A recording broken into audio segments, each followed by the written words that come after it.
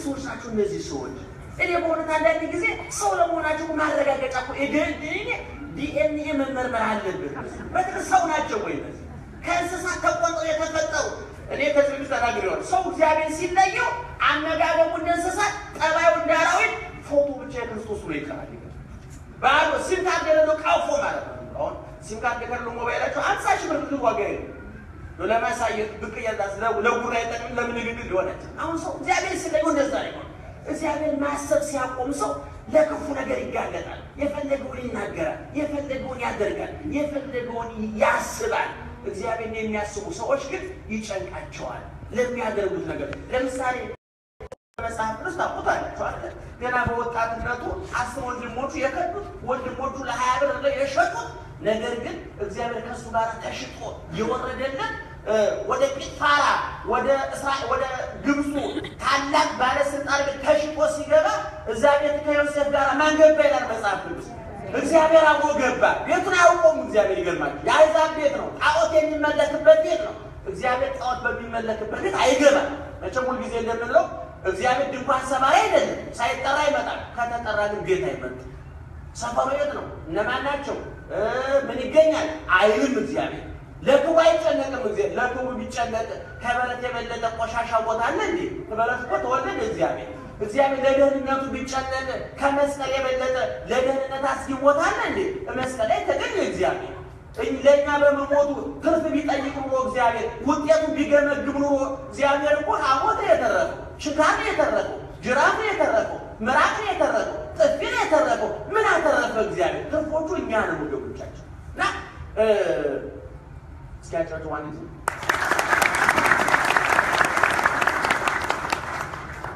ስለዚህ ሰው ማንን ማሰብ አለበት? እግዚአብሔርን ማሰብ አለበት። ዮሴፍን ተከትሎ ወደ ወደ አሕዛብ ወደ አረመኔው ቤት ማን ገባ ብያቸዋለሁ? እግዚአብሔር ገባ ገባና በዮሴፍ ምክንያት የዛ ሰውዬ ቤት ተባረከ። ሀብቱ፣ ንብረቱ፣ በጉ፣ ፍየሉ፣ ወርቁ፣ ብሩ፣ እህሉ ተባረከ፣ ተትረፈረፈ። ያ ታላቅ ባለስልጣን ዮሴፍን የቤቱ ሙሉ መገ ወረሰዮ እግዚአ ለቤቱ ወአኮነኖ ላዕለ ኩሉ ጥሪቱ የቤቱ ጌታ አደረገው፣ በንብረቱ ላይ ሁሉ ሾመው ይላል። ከዛ ያ ሰውዬ እንደውም መጽሐፍ ቅዱስ ምንድን ነው የሚለው?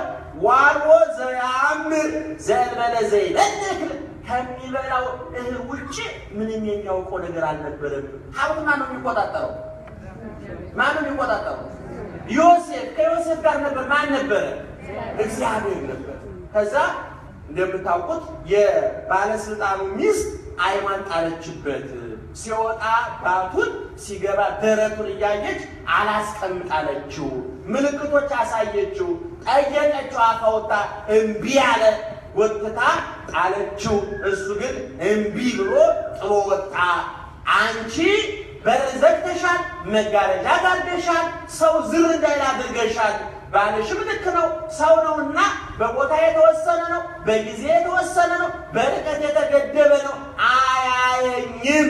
ነገር ግን ተሽጬ ስመጣ ከወንድሞቼ ይልቅ እኔን የመረጠ ከእኔ ጋር የተሰደደ በፈተናዬ ሁሉ እየገባ ሸክመን ያቀለለ መንገድን የጠረገ ወንድምም አባትም ሆኖ ያከበረኝ እግዚአብሔር ግን መጋረጃ አይመልሰውም፣ ጨለማ አይመልሰውም፣ ግድግዳ አይመልሰውም፣ አላደርገውም ማለት እግዚአብሔር ማሰብ ለዚህ ያገለግላል። አያችሁ፣ አሁን ብዙን ጊዜ እግዚአብሔር የሚያውቅ ባላግቡ የምንላቸው ለዚህ ነው። ጓደኛም ስታጠኑ ሴቶቹ ጓደኛም ስታጠኑ ይሄ ሰውዬ እግዚአብሔር ይፈራሉ ማለት አለበት። ገንዘብ ያስፈልጋል። አዎ ያስፈልጋል። ተጋብታችሁ ዋልድባት ገቡ ኑሮ ያስፈልጋል።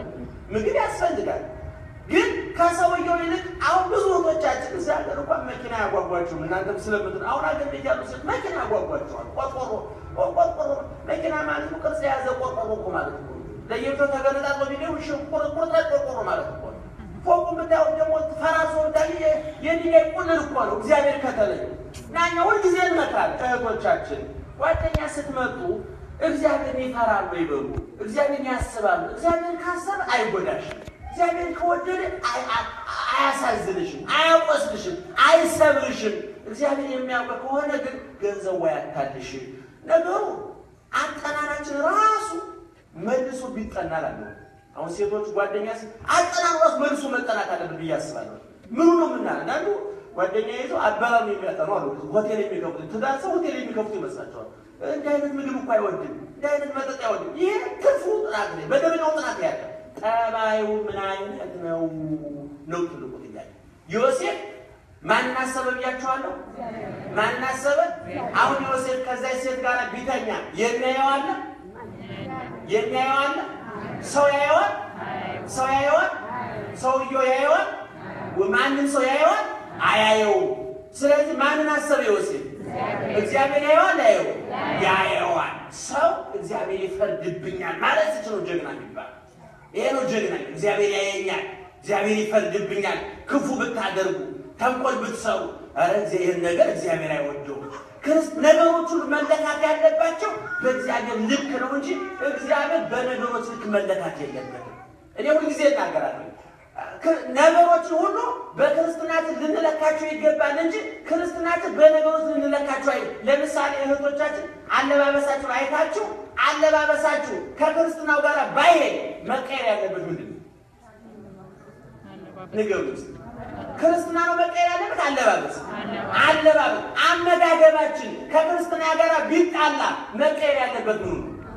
አመጋገባችን ሚዛኑ ሊቀየር አይችልም። የሚመዘነው ነገር መቀየር ያለበት እንደ ሚዛን የሚያስቀመጥ ያለበት ምናችንን ነው?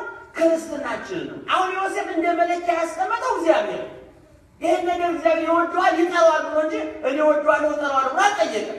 እንዴ እንዲያውም በሰው ሰውኛ እኮ አሁን የዛሬ ወጣት ቢሆን የኔ ቢጤ ቢሆን ምንድን ነው የሚያደርገው? ሰውየው ወዶኛል፣ ሀብቱን ንብረቱን አሳልፎ ሰጥቶኛል ከእሷ ጋር ብተኛ ደግሞ እኮ እሷም ትወደኛለች የበለጠ አገኛለሁ ብሎ ስጋዊ ስሌት ያሰላና ከሁለቱም ያጣል። አላደርገውም አሁን በእውነት አንድ ወጣት እንደው የፕሬዚዳንት ሚስት ደውላ እንደው እፈልግሃለሁ ብላ ደውል ወሬው ሰው ያስቀምጣል። እንደሆነ እግዚአብሔር ጎበኘ፣ እግዚአብሔር ለበጎ አደረገ በጥቅስ አድጎድጉዶ ህሊናውን ያሳምነዋል። እግዚአብሔር ይወደዋል ይጠላዋል ብሎ አይጠይቅም። ጀግና ማለት ግን ምን ብሎ የሚጠይቅ ነው? እግዚአብሔር ይህን ነገር ይፈልገዋል፣ እግዚአብሔር ይህን ነገር ይወደዋል ብሎ መጠየቅ አለበት። ስለዚህ ዮሴፍ ምን አለ? ይሄ ነገር ከኔ ጋር አይሄድም አለ። ከእግዚአብሔር ጋር አይሄድም። ለእኔ ደስ ይለኛል፣ እግዚአብሔር ደስ ይለዋል ወይ አይለውም። እግዚአብሔር ደስ አላለውም ማለት ደግሞ እኛ ደስ አላለንም ማለት የሚጎዳንን ነገር ያውቀዋል እግዚአብሔር፣ የሚጠቅመንን ነገር ያውቀዋል እግዚአብሔር፣ የሚጎዳንን ነገር አያደርግም እግዚአብሔር። ከዛ ሴትዮዋ ዮሴፍ እምቢ ሲላትና ካልጋው ላይ ነጥቆ ሲነሳ ልብሱ ተቀደደ። ባልዮ ሲመጣ እሳት ጎርሳ እሳት ለብሳ ተቆጥታ ቆየችው። ተደፈርኩል፣ ተጠቃሁል።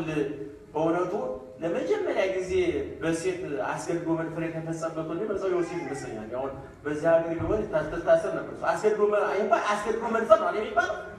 ግን እሷ እሳት ለብሳ ቆየችው። ሰውየው ደግሞ ላመዛዝን አለ። ብዙን ጊዜ ሴቶች የሚያመጡት ነገር በቀላሉ አይበርድም ይባላል። አሁን በዚህ ሀገር በጣም የታደላችሁ ሁለት ነገር ይመስል፣ አንደኛ ጎረቤት የላችሁ፣ ሁለተኛ ቡና ሶስተኛ ለመገናኘት ጊዜ የላችሁ። ለነገሩ ደግሞ እናንተ ትልቅ አደጋ ደግሞ ቡና ባይኖር ደግሞ ስልክ በነፃ መሆን ደግሞ ጎዳችሁ። አሁን እዚህ ሀገር ሀሜት ከቡናና ከሲኒ አልፎ ስልክ ላይ ወጥቷል። በስልክ ነው፣ በርቀት ነው። የርቀት ሀሜት ነው የተጀመረው። አንዱ ሴት ማን እንዴት ነው እንደዚህ ከሆነ መረጃ መለወጥ የማይጠቅማል ጆሮ የሚያቆሽሽ መረጃ የሚገነባ ጆሮ የሚያቆሽ መረጃ እገሌ እንዴት ሆነ፣ እገሌ እንዲሆነ፣ ቄሱ እንዲሆነ፣ ጳጳሱ እንዲሆነ የራሱ ኃጢአት ታራራ ብሎ ለሰው ታራ ኃጢአት ትውልድ አፈራል ማለት ስለዚህ ያ ባልዮ ሲመጣ ተቆጣ ዮሴፍን። እንዴት ነው የተፈጸመው? ምንድን ነው የሆነው? እንደዛ የወደደው ሰው የልባል እንደዛ አክብሮ ሁሉ ነገር አሳልፎ የሰጠውን ሰው ሰው እስኪ ላጣራራ ምክንያቱም ሴት የላከው ሴት የላከው ሞት አይፈራም። በመጽሐፍ ቅዱስ ሴቶች ያቀለጧት ብዙ ወንዶች ከአዳም ጀምሮ አዳም ቀልጧል። ሶምሶን፣ አክዓብ በጣም ብዙ ወንዶች እንደሁም ደግሞ ሴቶች ያቀለጧቸው ወንዶችም አሉ። ወንዶች ያቀለጧቸው ሴቶችም አሉ እና በሴት ምክንያት የወደቁ ሰዎች ታላቁ ዮሐንስ አፈወርቅ ብእሲትሰ አባይ ጸጋ ይእቲ ወካዕበ አባይ ቲቲቲ ሴት ከታወቀባት በረከት ናት፣ ካልታወቀባት ትልቅ አደጋ ናት። ተወቅባት ተንከባክሎ ያዛት ነው። ለነገሩ የሌላ ጥላቻ አለ ማይዟቸው የሌላ ጥም ምናምን አለ። አሁን ብዙ የሚወራ ነገር አለ። በዚህ በአሜሪካ የሴቶች መብት ገደብ ያለፈ ነው ሲባል እንሰማለን። በአገር ቤት ደግሞ ወንዱ አምባገነን ነው ሲባል እንሰማለን። ተናግሬዋለሁ። ዩቲዩብ ላይ አይታችሁት ይሆናል። እኔ ደግሞ ሴትዮዋ አሜሪካዊ መብቷን ከመጠቀም ይልቅ ክርስቲያናዊ መብቷን ብትጠቀም፣ ባልዮም ኢትዮጵያዊ መብቱን እያስታወሰ ከሚያለቃቅስ አገር ቤት እኮ እንደዚህ ነበር እያለ ታሪክ ከሚያወራ ለምን ክርስቲያናዊ ባል አይሆንም? እሱም ከኢትዮጵያ እሷም ከአሜሪካ ወጣ ክርስትና ለምን አይገናም? አይሻል እንደዚያ ብትገናኙ ትዳራችሁ በተረፈ አሜሪካ መብት እንደዚህ ነው እያላችሁ ትዳራችሁን ብትበትኑ የአሜሪካ መንግስት ፍች እንደሆነ እንደ ቁም ነገር አይቆጥሩም። እናንተ ናችሁ የምትከሱ። ሰይጣን ደግሞ እስከምትፋቱ ወደ ውጭ ገፋቸው፣ ከተፋታችሁ በኋላ ወደ ውስጥ ይገፋቸዋል። የሰይጣን ጠባይ ነው። አሁን በትዳር ያላችሁ ታውቁታላችሁ። ምኑ ላይ ያሳያቸዋል? እቤታችን ያለው መብራት ሙልጭ አርጎ ያ ድርግም አርጎ ያጠፋና የውጭን ያበራላችሁ። እኔ ብፋታ እንዲህ ያለ ኑሮ ነው ምስልሽ ብትፋች ውጭ የሚጠብቅሽ ህይወት ምን አባት ውጭ እና የቤት መብራት አጥፍቶታል። የሚታያት የውጭ መውጣቷን ካረጋገጠ በኋላ ደግሞ የውጭን ያጠፋል፣ የውስጡን ያበራል። ወይኔ ምን አንቀዠቀዠኝ ለምን አረፍ ያልቀመጥ ሴትዮዋ ስትሰቃይ እንድኖር የሰይጣን አላ ብሶ ተወለደዋል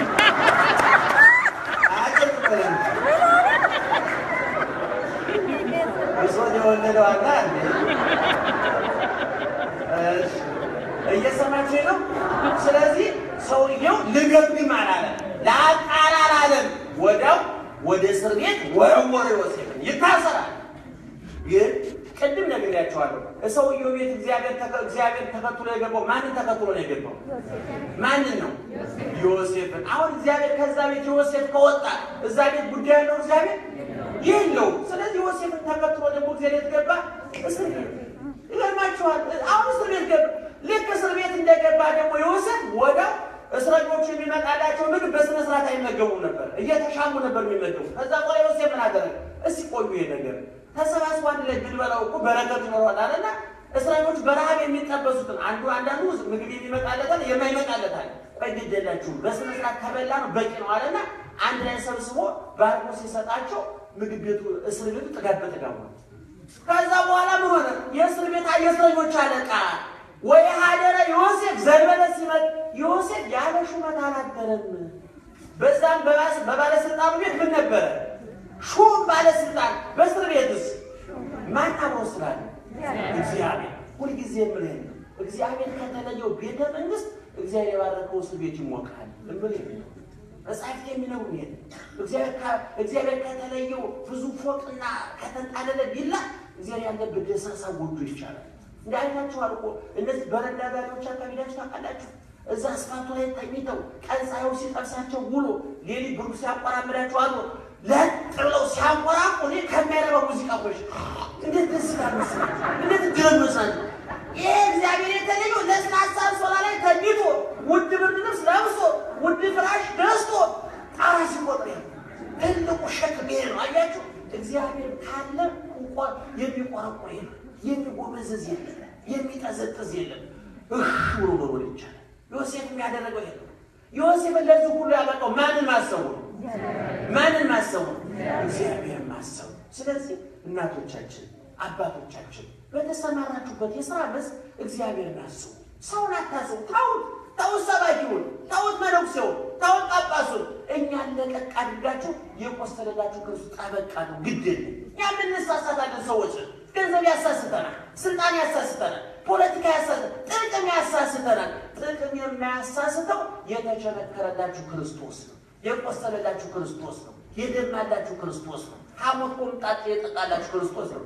እስከ ሞት ድረስ የሞተላችሁ የወደዳችሁ ክርስቶስ ነው። ሞታችሁን በሕይወቱ በሞቱ መቃብራችሁን በትንሣኤ የቀየረ ተራቁ ብርሃን ያለበሳችሁ በበረት ተኝቶ ገነት ያስገባችሁ በጨርቅ ተጠቅሎ በብርሃን ያጎናጸፋችሁ እሱ ተርቦ ስጋውን ያበላችሁ እሱ ተጠምቶ ደሙን ያጠጣችሁ ሐሞትና ኮምጣጤ ጠጥቶ የሕይወት ውሃ ያጠጣን ያጠጣችሁ ማን ነው? ክርስቶስ ነው። ስለዚህ ሰው ተቀምጦ ተነስቶ ማንን ማሰብ አለበት? እግዚአብሔርን ማሰብ አለበት። ጀግንነት ይሄ ነው። ስለዚህ እኔ ሌላውን ታውት ግድ የለም። ልዩነቱን አታስቡት፣ ጥላቸውን አታስቡት፣ ጥሉን አታስቡት፣ መራር ንግዱን አታስቡት። ብዙ ነገር ይጻፋል፣ ብዙ ነገር ጆሯችሁን ጥሪ አይቀበልም። በው ግድ የላችሁ ወገኖች፣ ሐሜት ሲመጣ ስጮ ጥሪ አይቀበልም። ከአገልግሎት መስጫ ውጭ ጆሯችሁ፣ ዝጉት። ማርያምን ከልቤ ነው ስለ ባላችሁ ወሬ ሲመጣ ጥሪ አይቀበልም፣ ጆሮዬ ዝግ ነው። ሐሜት ሲጀመር ምላሴ ቆጣሪ ዋጋ ያስከፍላል እኔ አንዳንድ ጊዜ ምን እመኛለሁ እንደው መቼም እግዚአብሔር አይስማኝ እንጂ ጆሮአችን በ credit ቢሰራ ማርያም እኮ ራሳችን ገንዘብ ቢያስከፍል አሁን ገንዘብ ቢያስከፍል እኮ የምንፈልጋትን አወጥን ቶሎ እንቆልፈው ነበር። አሁን ዋጋ ስለማያስከፍል ሁሉ ያወራበታል። እስኪ አሁን በእውነት እንደው ገንዘብ ዶላር በምትጠይቅ ጉዳይ ላይ ቀድናችሁ ታውቃላችሁ? አዲዘን አገር ቤት እኮ ስልክ ስር ሚስኮል ነው የሚደረገው ታውቃላችሁ? ለምክንያቱም ባወራ ቁጥር ገንዘብ ይወስዳል። ጆሮ ግን እስካሁን ገንዘብ ስላልጠየቀ ስንት ቆሻሻ ተከመረበት፣ ስንት ወንጀል ተሰማበት። አይናችሁ በእውነት አምፖል እኮ በየወሩ ይከፈልበታል። አይናችሁ ስለማይከፈልበት ወንጀል ማየት አለበት እንዴ? ዝሙት ማየት አለበት እንዴ? ርኩሰት ማየት አለበት እንዴ? ዋጋ ስላልተከፈለበት በነፃ መቸብቸብ አለበት እንዴ? ስለዚህ ባካችሁ እግዚአብሔርን አስቡ ወገኖቼ። ከጥላቻ ነፃ ሁኑ፣ ከዘረኝነት ነፃ ሁኑ። የአመለካከት ልዩነቶቻችንን በሰለጠነ መንገድ ለምን አናስተናግድም? እኔ ባለፈው ተናግረ እኔ ከአሜሪካውያን በርገራቸውን ብቻ ሰው አስተሳሰባችን ለምን አትበሉላቸው? Starbucks ቡናቸውን እየተጋታችሁ ልባቸውን ከምታቀልጡ ለምን አመለካከቱን አትጠጡላቸው? እንዴት ጀግኖች!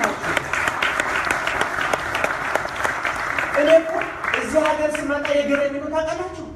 ይሄን ያህል ሰፊ state ሰፊ ሀገር ከዲሲ እስከ ሲያትል ስድስት ሰዓት በአውሮፕላን ከአዲስ አበባ አስመራ አንድ ሰዓት እንዴት ያሳዝናል። ከአዲስ አበባ መቀሌ አምሳ አምስት ደቂቃ ይኸው ሰፋ ብለን ይኸው እየተነገርን ይኸው ሰፊ ሀገር መስሎን ይገርማቸው። ከአዲስ አበባ ጅጅጋ አርባ አምስት ደቂቃ ነው። ከባህር ዳር አዲስ አበባ አርባ ደቂቃ ነው። ከዲሲ ሲያትል ሰባት ሰዓት ስድስት ሰዓት ከዲሲ ካሊፎርኒያ አምስት ሰዓት ከአዲስ አበባ ናይሮቢ አንድ ሰዓት ከአርባ ነው። አሁን ጀግና ቢገኝ ናይሮቢ የአዲስ አበባ አጠገብ አንድ ቀበሌ ነበር መሆን የነበረበት ሰው የተየትና ስለዚህ ከአሜሪካውያን ተማሩ እስኪ ከስራ ጓደኞቻ ተማሩ እስኪ እስኪ ተመለ ይህንን ሰፊ ሀገር በአንድ ስርዓተ መንግስት ማስተዳደር በአንድ ቁጥጥር ውስጥ ማስተዳደር ተግባብተው ተስማምተው። እኔ ድሮ ኢትዮጵያ ሁኜ ጠይቅ ነበር እንደ አሜሪካው ፕሬዚዳንት በዓለም አቀፍ ደረጃ ተወጥረዋል። ውጭ ጉዳይ ሚኒስትሩ ባለም አገር ተወ እንዲህ ሀገራችሁን ጉዳይ ምን አድርገው ነው እየጨነቅ ነበር። እኛም ስለምመጣ ስላላችሁበት። እዚህ መጥቼ ሳጣራ ለካ የቤት ስራቸውን ጨርሰው ሀገር ይመጡ የቤት ስራ የለባቸውም ለካ የቤት ስራ ተጨርሷል። እዚህ ስንዴ ጥያቄ አይደለም፣ ዘይት ጥያቄ አይደለም፣ አስፋልት ጥያቄ አይደለም። ምክንያቱም መጀመሪያ የህዝባቸውን ጭንቅላት ሰጥተው ቀጥለው አስፋልት ሰው እኛ የህዝቡን አስተሳሰብ ሳንሰራ አስፋልት ሰራን ውጤቱን ያለ በጣም ያሳዝናል። ስለዚህ ወገኖች እንደው ቀሚስ ብቻ አትቀይሩ፣ ሴቶቹ አስተሳሰብ ቀይሩ። ወንዶቹም የዛ ሀገር ልብስ አታፈር አስተሳሰብ በየሲዝኑ ልብስ ተቀይሩ የለን አሁን የሰመሩት የዊንተር እየገዛችሁ አለ የዊንተር ሀሳብ ይኖራችሁ፣ የሰመር ሀሳብ ይኖራችሁ። ደራደሩ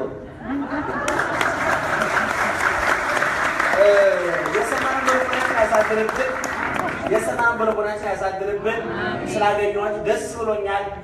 የሚቀጥለው ወደፊት ደግሞ ሁሉም አብያተ ክርስቲያን እግዚአብሔር ወርዶ የጥሉ ግድግዳ ተንዶ መጋረጃው ተቀዶ ጥላቻው፣ ክፋቱ፣ ምቀኝነቱ፣ እልው፣ ስልጣኑ፣ ፖለቲካው፣ ገንዘቡ ተገፎ አንዱ ነን የምንዘምርበትን ጊዜ በተስፋ እንጠብቃለን። ያደርገዋል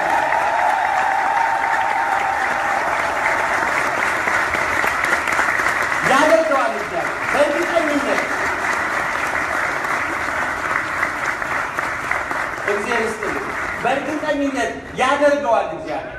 እኔም እመክራችሁ እኔም እመክራችሁ ግን ነገ እንደ ደመና በሚገፈፍ ቂም፣ ጥላቻ ጥላቻ ያለው ልዩነት ነገ እንደ አበባ በሚረግፍ ልዩነት ትርፍ ንግግር አትናገሩ። ይሄን ነው የምመክራችሁ። እኔ አንዳንድ ጊዜ በትዳር ውስጥ ሽምግልና ብዙ ጊዜ አስታርቃለሁና አንዳንድ ባልና ሚስቶች አንዳንድ ስህተት ሲሰሩ ያለው ነገ እንደሚታረቁ እያወቁት ዓመት የሚፈጅ ንግግር ይናገራል። አንጀት የሚቆርጥ ነገ እንኳ ቢታረቁ አንቺ ታረቅን እንጂ እኮ በቀደም የተናገርሽው በቃል እንደ አይነት ንግግር ነውር ነው። እርቅ የማይፈልጉ ባልና ሚስቶች ያስታውቃሉ። ቆርጠው የወጡትን ስታስታረው ንግግር ታውቁታላችሁ። በቃ የሚናገሩት ንግግር አንጀት የሚቆጥ አንጀት የሚያስደፈ መጥፎ እርቅ የሚፈልጉ እናቶች ግን አረ እንደው ምንም አልተበደሉ፣ አረ ምንም አላጠፋው፣ እገር ያጠፋዩ እኔ ነኝ ጥፋተኛ። ይሄ ልማዳችን ይሄ ወገኖቻችን። ስለዚህ ነገ አበባው ጥላችን ሲረግብ፣ ደመናው ጥላችን ሲገፈፍ፣ ዝናቡ ፍቅራችን፣ ፍሬው ፍቅራችን ሲመጣ እንዳንሳቀቅ እንዳንሸናቀቅ ትርፍ ነገር አትጻፉ፣ ጥላቻ አትጻፉ፣ ጥላቻ አትናገሩ። በራችሁን ልባችሁን ክፈቱ። ይደላችሁ ፍቅር ያሸንፋል። እግዚአብሔር ዓለምን ያሸነፈው በኒውክሌር አይደል፣ በመስቀል ነው ያሸነፈው። በእውነት እነ ራሽያ፣ እነ አሜሪካ፣ እነ እንግሊዝ፣ እነ ፈረንሳይ፣ እነ ቻይና ኒውክሌር አምርተው በመጋዘናቸው ቆልፈው ኒውክሌሩ እንደማያዋጣ እዚህ ቢተኮስ እዛም ስለሚተኮስ መተላለቅ መሆኑን አውቀው የኒውክሌሩን ቁልፍ ባለስልጣኖቹ ይዘው በጠረጴዛ ዙሪያ ኧረ እስኪ እንነጋገርበት ብሎ እኛ መስቀል ይዘን መስቀል ይዘን ክርስቶስን ይዘን ድንግል ማርያምን ይዘን ቅዱሳንን ይዘን ታቦቱን ይዘን ማዕጠንቱን መጋረጃውን ይዘን እንዴት ሰላም መፍጠር ያቀተናል? እንዴት ይቅርታ ልብ ያቀተናል? ወገኖች ስለዚህ ልባችሁን በሰላም ሙሉት፣ በፍቅር ሙሉት። እንደው እንደልን እንደ ኳስ የቲፎዞ ጉዳይ አታድርጉ። እንደ ፖለቲካ የደጋፊ ጉዳይ አታድርጉ። እኛ ትናንትናም ዛሬም ለዘላለም ልዩ ጥላትን ልዩ ወዳጅም የለንም። ልዩ ጥላታችን ሰይጣን፣ ልዩ ወዳጃችን ክርስቶስ። የእኛም ስብከት ዓላማ ክርስቶስን መግለጥ፣ ሰይጣንን ማጋለጥ ነው።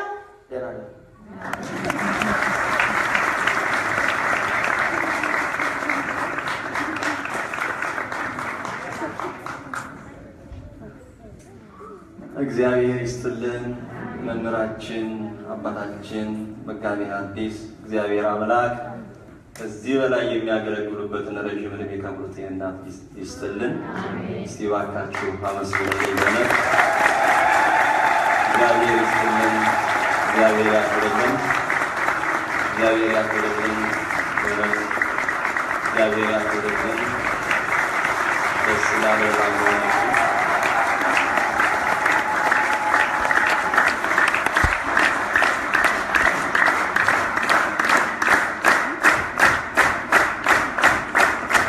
እግዚአብሔር ይስጥልን። አረፍ አረፍ በሉ። እግዚአብሔር ያክብራችሁ። እንግዲህ እኔት እየተነስተው ያው በአክብሮት እግዚአብሔር ይስጥልን እያሉ ነው። እንግዲህ ያው ስላስተማሩኝ እሳቸውም መላከ ሰላምም እንግዲህ አብረን አንድ ቦታ ዝዋይ ቆይተናል። ያስተማሩን አባታችን ናቸው እና እኛ የኔታ ነው የምንላቸው። እናንተ ደግሞ ያው መጋቢ አዲስ ነው የምትሉት። እንግዲህ ለዛ ነው ያልኩ ያሉትና እግዚአብሔር አምላክ ረጅም ዕድሜን ከሙሉ ጤንነት ጋር ይስጥልን። ከዚህ በላይ የሚያገለግሉበትንም ነገሮችን እግዚአብሔር ያከናውንላቸው። ደስ አላችሁ? ተደሰታችሁ? ደስ ይላል በጣም በእውነት እንግዲህ ቅዳሜ ፕሮግራም አለን ገና አሁን ይሄ መጀመሪያቸውም ከእንግዲህ በኋላ ቤታቸውም በቃ ከእንግዲህ በኋላ እየመጡ ያርከፈክፉታል። ምን ችግር አለ? መጋቢ አዲስ ደግሞ ለመናገር ችግር የለም። ያው እግዚአብሔር የሚያቀበላቸውን የሚናገሩትን እየሰማችሁ ነው። ተናግሮ አለመደመጥም ራሱ በሽታ አይደለም? ተናግሮ አለመደመጥ ራሱ በሽታ ነው። ተናግሮ መደመጥ ደግሞ እንደዚህ ያስደስታልና በእውነት እጅግ በጣም ደስ ብሎናል። አሁንም ቤታችን ስለመጡ ቤቶት ስለመጡ ይሄን ህዝብ ስላዩ በእውነት በደብረ ሰላም ስም ህዝብ ስም አሁንም ምስጋና አቀርባለሁኝ። እግዚአብሔር አምላክ አመሰግናለሁ።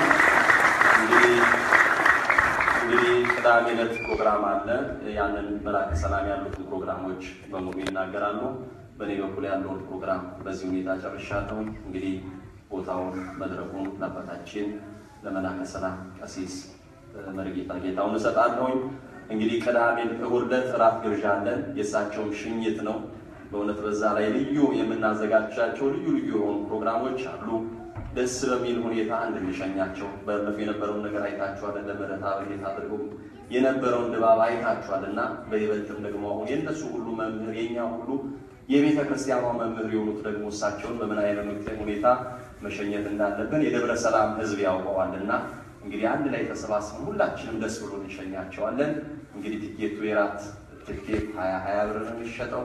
ይህንን እየገዛችሁ እንድትጋበዙ ቤተ ክርስቲያኗ ጥሪ ታስተላልፋለች። ወደ አባታችን